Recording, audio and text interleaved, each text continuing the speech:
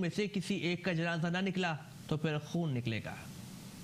عوامی مسلم لیگ کے سربراہ شیخ رشید کا لاہور میں تقریب سے خطاب کرتے ہوئے کہنا تھا کہ میرے منہ میں خاک، لیکن اگر انصاف نہ ملا تو ملک زندہ نہیں رہے گا۔ نون اور قانون میں سے کسی ایک کا جنازہ نہ نکلا تو پھر خون نکلے گا۔ لوگ موجودہ نظام سے تنگ آ چکے ہیں۔ یہاں جمہوریت کے نام پر ڈکٹیٹرشپ قائم ہے۔ شیخ رشید نے کہا کہ بڑے کرپٹ لوگ پاکستان میں آ کر منہ صاف کر لیتے ہیں۔ کہیں اور ایسا نہیں ہوتا۔ چوروں، ڈاکوؤں اور منافقوں نے اتحاد قائم کر لیا ہے۔ اس گٹھ جوڑ کو توڑنے کے لیے سب کو اٹھنا ہوگا۔ دو ہزار سترہ پاکستان کی سیاست کا اہم ترین سال ہے۔ لہٰذا عوام ہوش اور سچائی سے کام لیں۔ عوامی مسلم لیگ کے سربراہ کا مزید کہنا تھا کہ شرجیل میمن کی ایئرپورٹ پر گرفتاری کا ڈرامہ رچایا گیا۔ شرجیل میمن کی گرفتاری اور رہائی ملٹری کورٹس کے پیچھے ڈیل کا نتیجہ ہے۔ جبکہ شرجیل میمن کے بعد ڈاکٹر عاصم اور ازیر بلوچ کا بھی پتہ چل جائے گا۔ انہوں نے کہا کہ کچھ لوگ نام اسلام کا لیتے ہیں، لیکن چھاونی اسلام آباد میں بنانا چاہتے ہیں۔ جبکہ ہمارے ملک میں دودھ، دوائی اور حکومت بھی خالص نہیں۔ امریکی صدر براک اوباما کی بیٹی باپ کے صدارت سے فارغ ہونے کے بعد نجی ہوٹل میں کام کرتی ہے،